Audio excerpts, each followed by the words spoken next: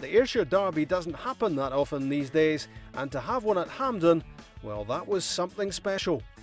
And there was the draw with the gaffer, and uh, they picked up uh, Ayr. I was obviously like happy, but at the same time, a little bit under pressure because I know that was maybe the biggest derby in uh, the uh, club history and all, like the Ayrshire community. It's a huge occasion for everyone who's interested in football in Ayrshire and further afield when we, we draw Ayr in a cup competition.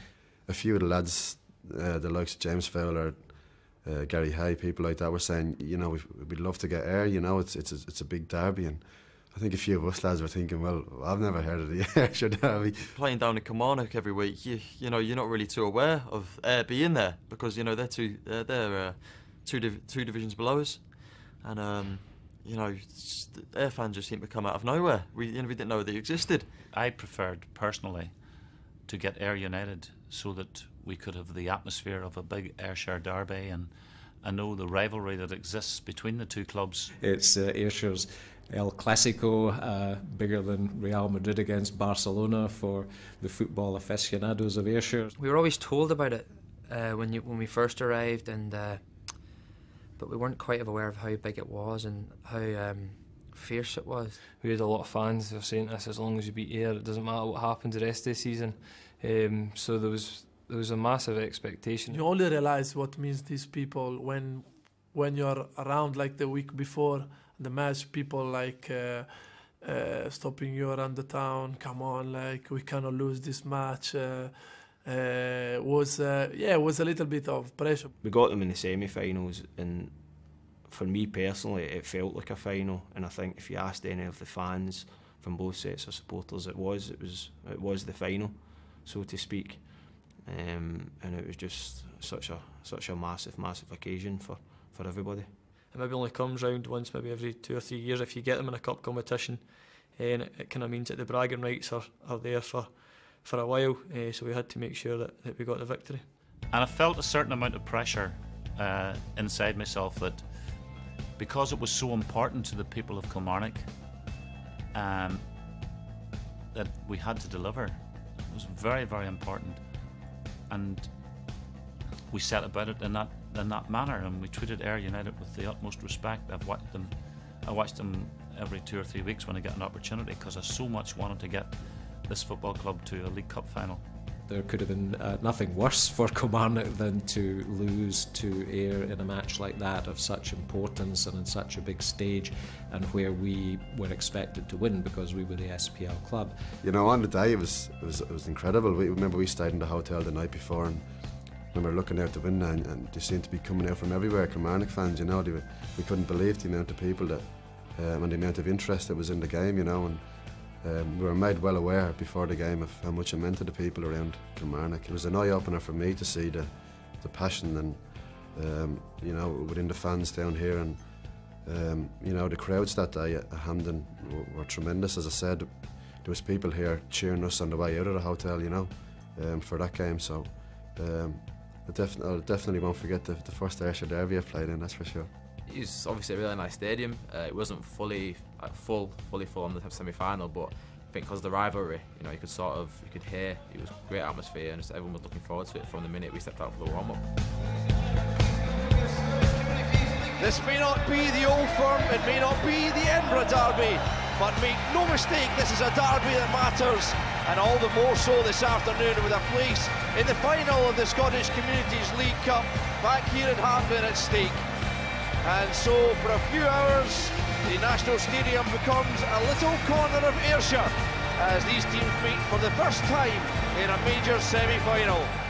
Probably as nervous as I've ever been, I think, uh, playing a game like even during it, you know, because I was desperate for us, so desperate for us to win the game, and I just knew how much it meant to to everybody that was watching us in the Kilmarnock end, and me myself being a Kilmarnock fan, it was I knew what it meant to the club, and uh, I was just desperate to win that semi-final.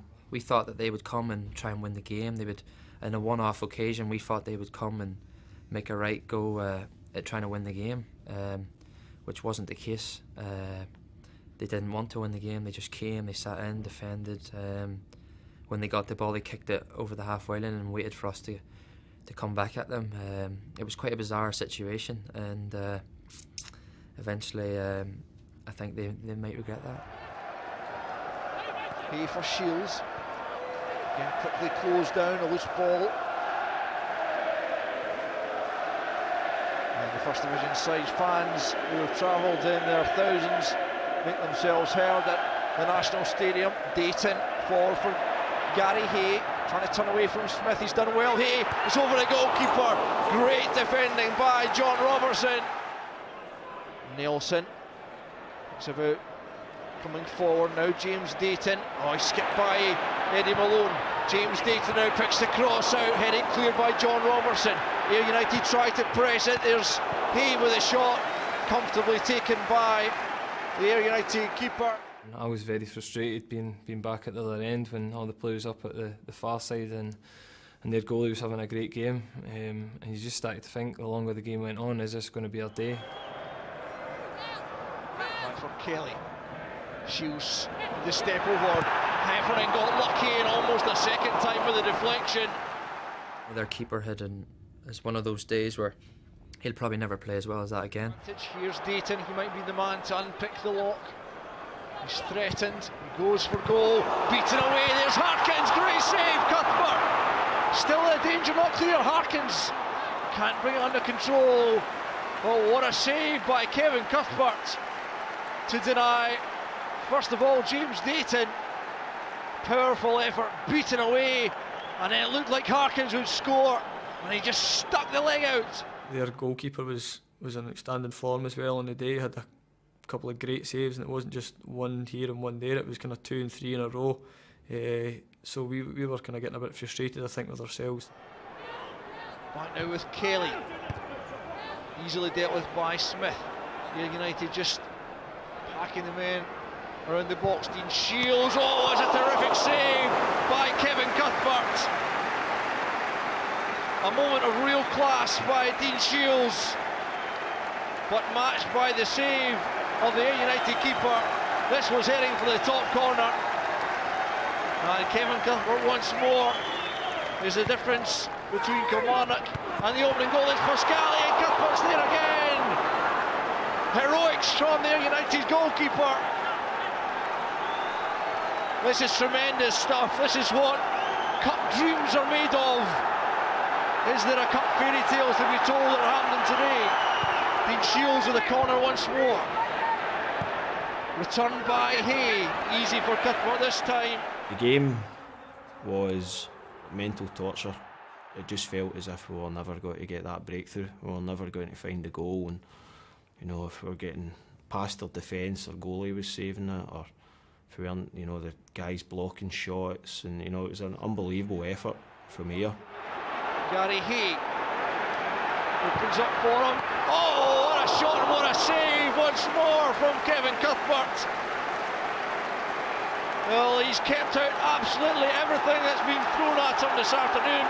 We just kept trying to encourage each other, even though the fatigue was setting in, and because it's a lot harder for a team to try and score a goal than it is for a team to, to not concede. And at the end of full time, with extra time looming, it's Ayr United nil, Kilmarnock nil.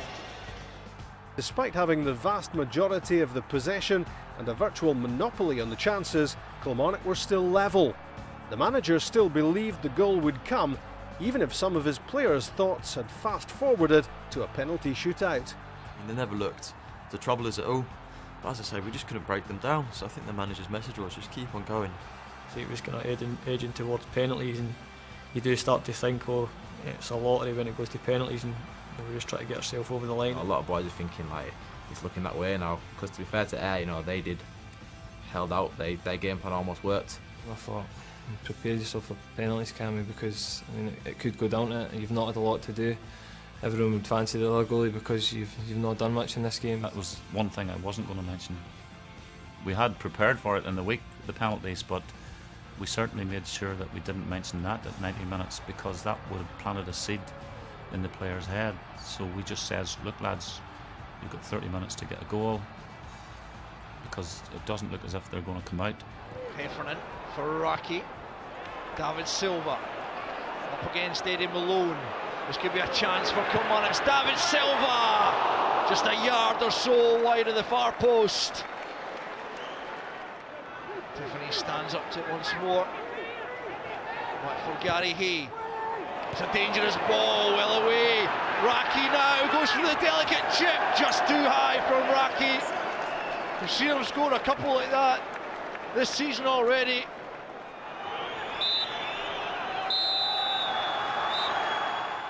Was cramping up everywhere, to be fair, and I think it was Jimmy Nicholl asked me how I was, and I just I could barely move.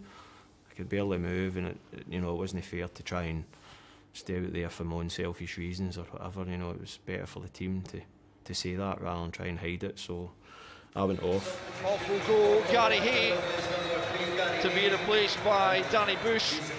So sitting on the bench, and I just I think remember we'd attacked.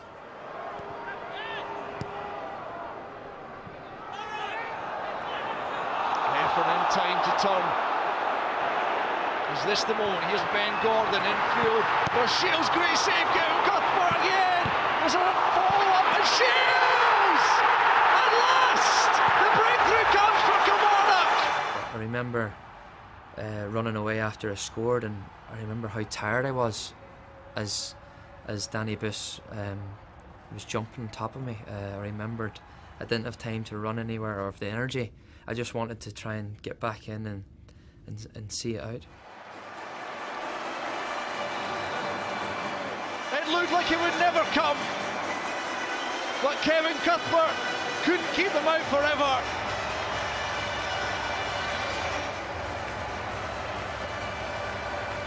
But Dean Shiels buries it beyond them, And Kilmarnock are on course for a return to Hampden.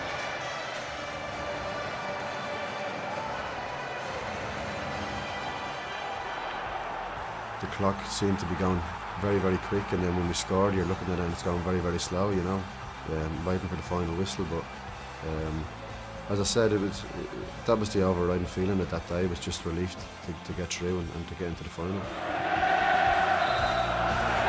the final whistle sounds. Team who will be back here at Hampden to contest the Scottish Communities League Cup final. Dean Shiels, the man who finally got the breakthrough. The Kilmarnock fans, the ones who celebrate. It was nail-biting at times for Kenny Shiels and his men. But eventually they found the breakthrough. Rugby Park faithful who will be returning to the National Stadium for their first League Cup final in five years.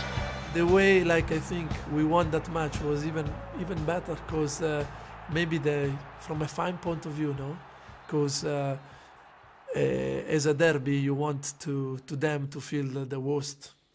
So having like considered a goal, maybe three minutes to go in the second uh, extra time, it was even better than winning maybe six 0 We've got into the final, and that was the most important thing for for the supporters, and it made them feel happy. And when I looked up to the stand afterwards, I was delighted for those supporters and the players. The pressure was off, and now we could prepare for a cup final.